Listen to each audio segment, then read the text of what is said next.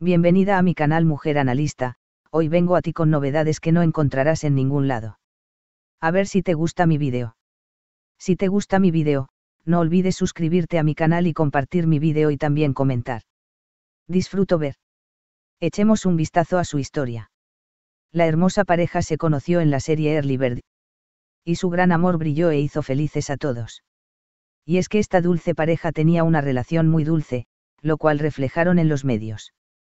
La serie y sus fans nos hicieron muy felices. Desafortunadamente, esta dulce pareja se separó. Y con esta noticia toda la agenda de la revista quedó conmocionada.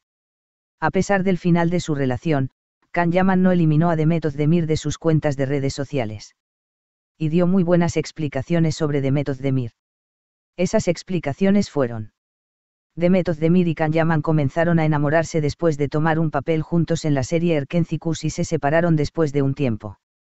Kan Yaman, en una entrevista que dio después del final de la serie, se habló durante días con las palabras la libido de Demet era alta, no podríamos haber logrado esta armonía si ella fuera una chica engreída. Las palabras de Yaman se abrieron con su exnovia.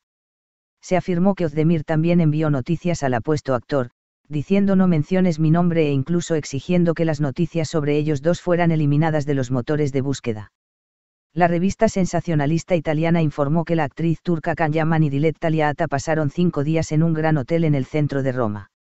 La prensa italiana afirmó que el famoso presentador estaba con Kanyaman para poner celoso a su ex amor Daniel Scardina. La pareja, que recibió el año nuevo en un hotel de Alat, tuvo que confesar su relación cuando se tomaron las fotos. Ozdemir dijo, sí, es cierto que nuestras fotos fueron tomadas. Ahora puedes decir la bomba de amor del año nuevo, mientras que Ouzan confirmó que estaban en una relación con su declaración en su cuenta de Instagram. Ouzan también confirmó que estaba en una relación con Demet Ozdemir en su declaración en su cuenta de Instagram. El cantante de 35 años dijo, quería explicar un tema que solo atañe a dos personas para que no moleste más a nadie. Aunque no estaba como estaba escrito antes, estamos en vísperas de un buen proceso. Con Demet. Acto seguido, Kan Yaman borró todas sus fotos con Demet Ozdemir. Así que renunció a Demet. Pero creemos que todavía ama mucho a Demet.